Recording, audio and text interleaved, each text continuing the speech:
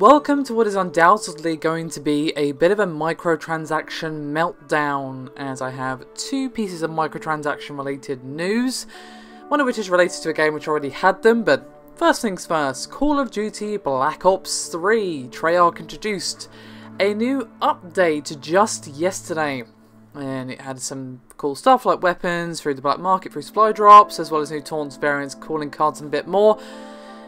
But they also added a microtransaction system because, of course, you know, a multi million dollar game like Call of Duty needs to make some money, right? I mean, there's no way that they can make the money back on this uh, hugely successful franchise.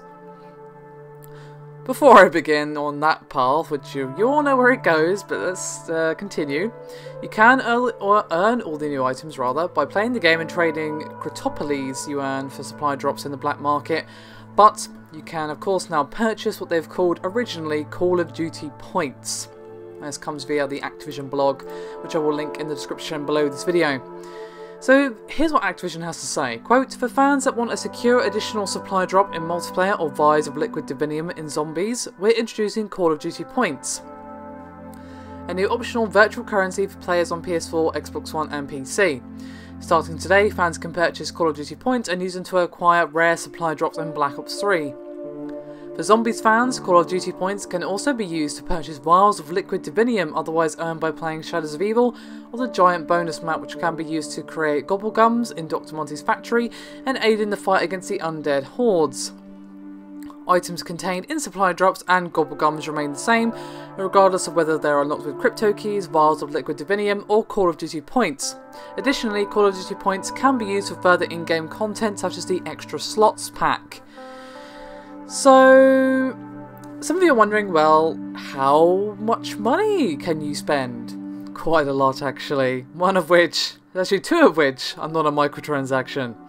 So, these are going to be British and European prices, but you can roughly expect the European prices to equal US dollar prices. So you have the 200 pack, which is £1.60 or one euro 99. The one sorry 100 1000 pack, which is 7.99 or 9 euros 99.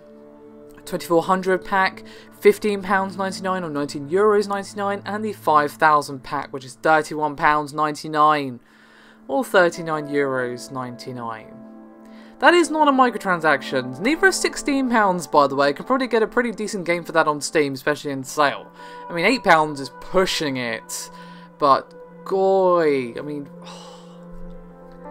You know how I feel about microtransactions in full price games. I don't care how optional it is, they should not be there in the first place, especially when it's a full priced AAA release.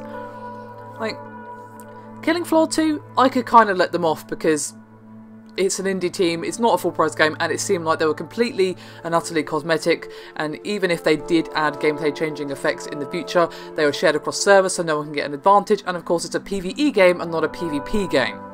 This is obviously not the case with Call of Duty Black Ops 3. And even if there's no case of advantage gained or anything like that, which I would seriously question, it's still does not need to be there. You cannot argue that Call of Duty needs microtransactions in order to be profitable. Seriously, anyone who argues that, just, just no. No, it's Call of Duty. It's probably making Activision like a thousand pounds a minute or something silly. And yes, I'm being a bit facetious, but come on.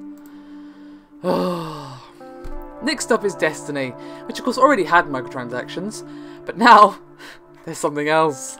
You can pay £25 to boost a character to level 25. Uh, and they're available for each of the game's three characters, Titan, Warlock, and Hunter. Oh, and by the way, that's per character. So you can't just pay £25 and level up all your characters. No, no, no. You have to do it per character. Now, of course, The Taken King, when it launched back in September, it did have one character boost included. This is the same offer, but it does have a subclass boost and some telemetries for quickly upgrading weapons as well. And I'm sorry, this is absolutely disgusting. I mean, disgusting does not even seem a strong enough word for how horrible this is. I mean, really? £25 to boost to level 25? Say, hey, you can pay half the cost of the game to not play the game. And I suppose you could argue, but, you know, Amy, What if someone has already played the game, but they just want to want to re-roll as a new character? Okay. They should still not have to pay £25 to skip content. Yes, it's optional, but I don't care. This Destiny is already notorious for being too expensive with its expansions and DLC and everything else. And now they're doing this? No, in giant flaming letters lit up with neon from the back.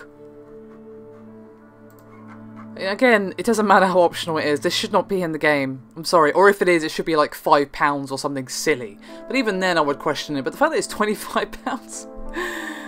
oh, Christ. Just no.